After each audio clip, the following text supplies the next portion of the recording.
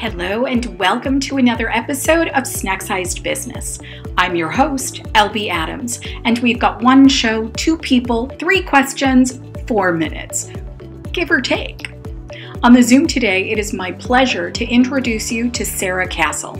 Sarah Castle is an executive at Amazon, where she's worked for the last 14 years. Her background includes a variety of roles in mergers and acquisitions digital devices, Amazon Alexa voice technology, digital and print books, and human resources.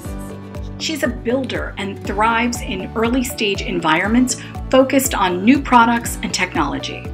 She has a knack for transforming teams into high performing organizations and growing them to scale. She gets energy from developing leaders and strong succession plans. Prior to Amazon, Sarah worked for General Electric. She has a master's from Cornell University and a bachelor's from Syracuse University. Welcome to the show, Sarah Castle. Hello and welcome to Snack Size Business, Sarah Castle. Thank you so much for joining us. Hi, great. Thanks for having me.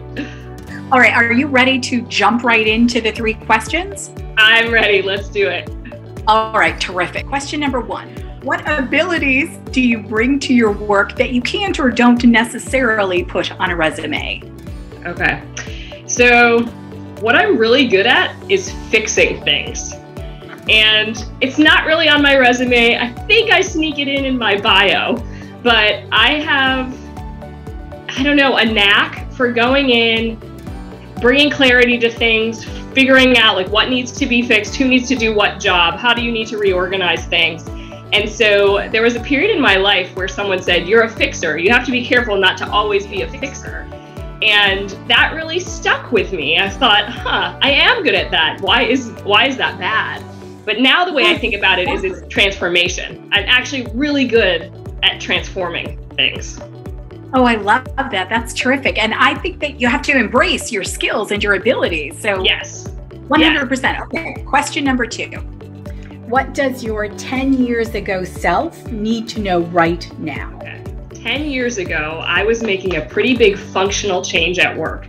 I had been an HR business partner and I was moving into a business role. And I've been in business roles for 10 years since. And I spent a lot of time trying, I, I didn't want people to know what I had done before because I thought that it would discredit the work that I was starting to do.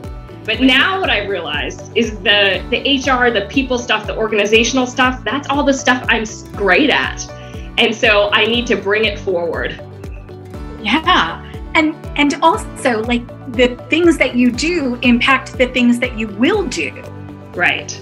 Yeah. Yeah. And so I it's part I think the the underlying message to my current self is just be be yourself and lean into the things that you're great at. Don't try to hide them because you think people will uh, like might not give you as much credibility or whatever it is. Actually, you will you'll gain credibility by being good at those things.